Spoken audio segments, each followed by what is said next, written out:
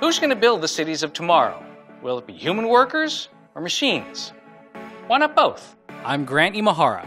Along with Wired Brand Lab and Mouser, I'm traveling the world, exploring the ways people and companies are using innovative technologies and shaping smarter cities. It's back home to Los Angeles, a city I know very well. Yet I had no idea that it's home to one of the leading augmented reality companies in the world. At DAQRI, we make augmented reality hardware and software to solve some of the most challenging environments. That's AR put to work in industrial and enterprise and automotive applications. Cities are an example of how much information there is in the background, and what AR is really good at is taking that information and making it visible. So, how about a city project, like a bridge, or a transportation center, a freeway, or even a giant skyscraper that you're trying to build? How could AR help in those situations? AR can help in all those cases. You can take a 3D model of your skyscraper and visualize it at true scale. So now you can explore it and see what it's like even before you build it.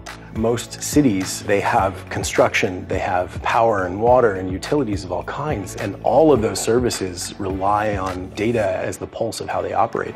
Augmented reality is allowing them to get that out of the servers and into the hands of the workers that need to make decisions. What types of information could you overlay over an image? Say a worker goes into a job site, what could you show them?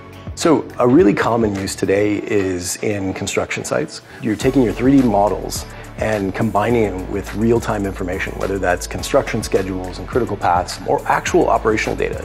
Anything that you've got data for, whether it's the pipes running under the road, the cables, we can pop the helmet on and visualize them and see where they're running, and we can visualize our new buildings overlaid on top of that as well. So being able to have a model that's geospatially located, being able to put on a helmet from any viewpoint and look at what the impact will be is something that would be important. AR is fundamental to the work of the future. You could be servicing a car today and a jet engine tomorrow. It really has this potential to transform workers and elevate their skill levels. So, we really think that it's going to be augmented reality everywhere. It, it won't matter what your job is, AR will touch it in some way. As DAQRI visualizes the future, they're incorporating components from around the world. And Mouser suppliers like Analog Devices, Intel, Microchip Technology, and Molex are leading the way with products that make global innovation possible. I've been lucky enough to travel the world to take a closer look at how we're shaping smarter cities. I think it's time to head back to where this journey began Wired Brand Lab to take inventory of everything I've learned.